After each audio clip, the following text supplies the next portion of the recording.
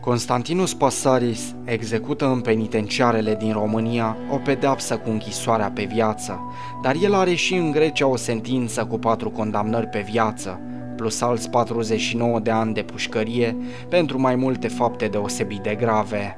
E considerat unul dintre cei mai duri interlopi din Europa, iar faptele lui sunt consemnate în tocmai în cele o mandate europene de arestare prin care autoritățile au cerut recent predarea lui în Grecia, însă judecătorii români amână însă extradarea lui.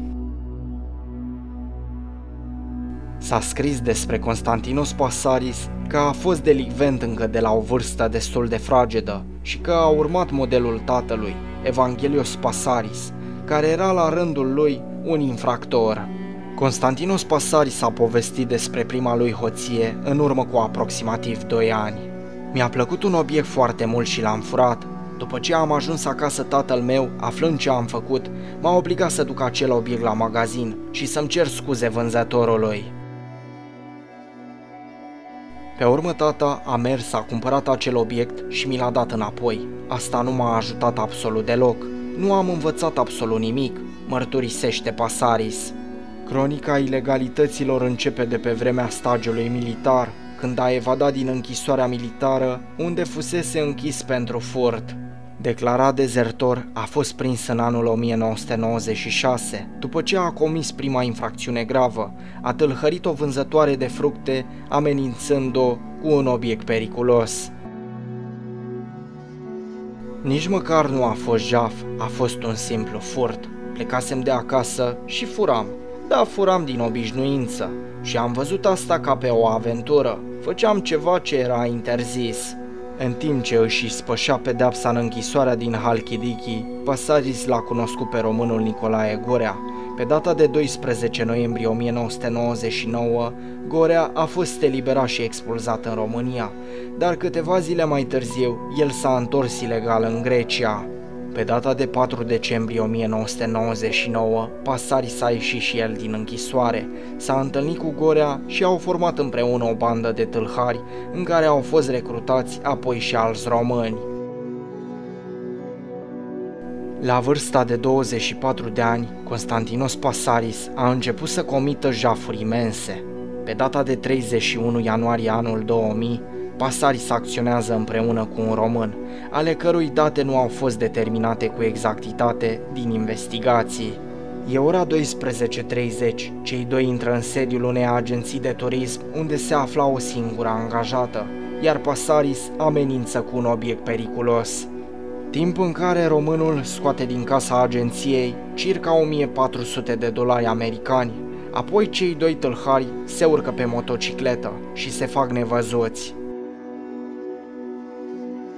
Pe data de 11 februarie anul 2000, Pasaris, Ion Vasile și Nicolae Gorea merg noaptea într-un hotel de unde, amenințându-l cu un obiect periculos pe angajatul de la recepție, fură în jur de 800 de dolari.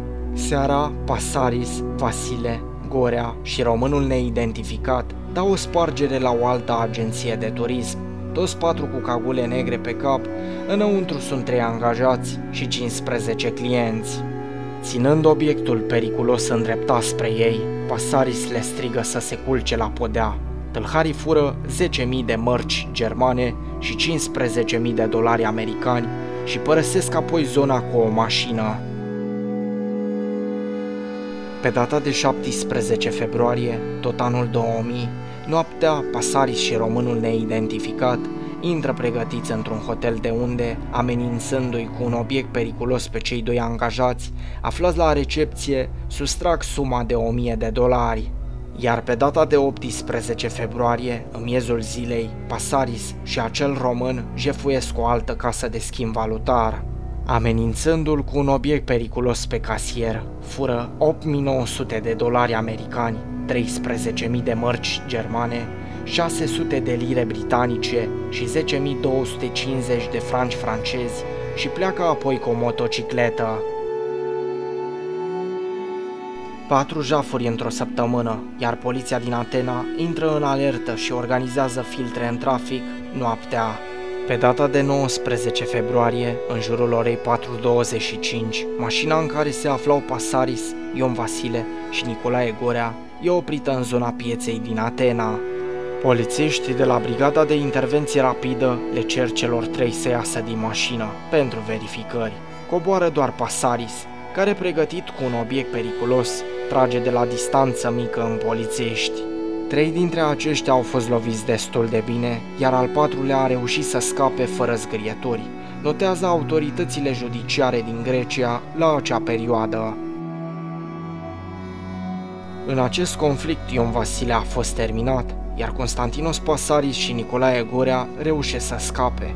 A doua zi, Pasaris sună la o televiziune și amenință. Voi termina trei ofițeri de poliție pentru a mă răzbuna. Trei zile mai târziu este arestat, iar în aceeași după amiază Gorea a fost terminat într-o confruntare cu poliția, după ce a refuzat să se predea. Pasaris a fost dus la închisoare, iar peste un an, din cauza unor probleme de sănătate, i-a fost aprobat transferul la un spital pentru a fi supus unor analize medicale.